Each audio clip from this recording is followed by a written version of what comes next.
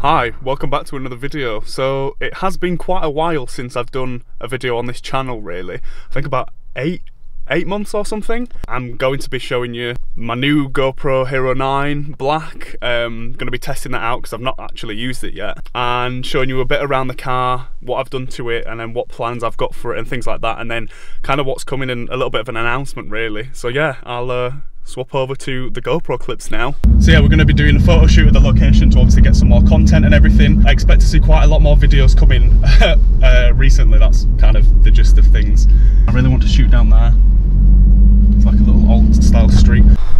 So I've literally just pulled up to the first spot. Um, I'm going to do a couple of videos here. Literally the other place that I want to go to is a few seconds that way. See what I can get here without anything being said to me.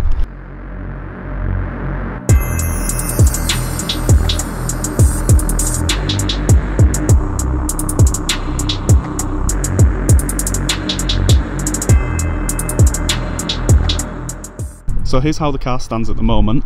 Um, from the last video that I did, there's a few subtle changes to it. One noticeable difference is the wheels. Uh, these are the 18 inch Pretts and I have Michelin Pilot Sport 4s uh, all round that have been put on them. Um, another thing is the little vent stickers at the side. As you can see, these are little bodge job ones. I did have some proper ones on before, but they literally rip with a jet wash, as you can see what they're doing at the moment as well uh, around the front. I've taken the plate holder off as well because I think it just looks a lot cleaner like that and there is a new 4D plate on there. Um, on the front I've changed the badge to black now and again jet wash has literally ripped it um, and I've put white inlays behind as well. Um, I do have another one of these uh, black badges for the front and also the back uh, as a replacement to get rid of the old one and the side vents as well. They're getting changed. There is a little sticker for my instagram there as well. And then at the back there's nothing really changed about it apart from the black badge and the white inlays again. Um, but i do have coming a new diffuser for the back and a splitter for the front as well as a little spoiler lip. And if I take you around inside I haven't done too much to the inside. Literally all I've done is change the paddle extenders if it focuses.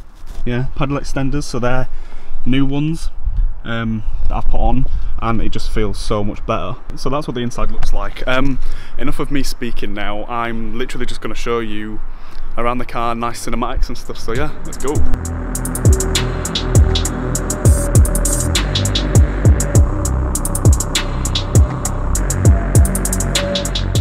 yeah, I've just finished shooting at the very last location. It's one of my favourite places because as you'll have seen from the video uh, and the B-roll shots, it's like nice architecture and stuff like that. It's, it's a really nice clean place. Yeah, so for the announcement, I am going freelance now.